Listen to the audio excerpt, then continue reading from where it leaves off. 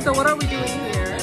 We are having a delicious meal and just allowing inspiration to come to us. Because we want to launch new products and uh, we've been sitting behind our computer every day and like in cafes and behind our desk and sometimes you need to do something different. You need to mash it up. Is it even recording? Yeah, it is.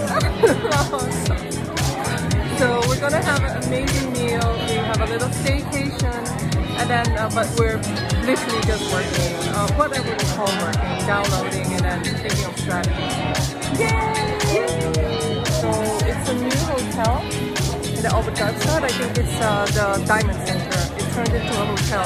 And so we're having dinner at the bar.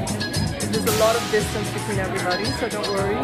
And yeah, it's very beautiful. Beautiful summer day, but it's raining and cold already.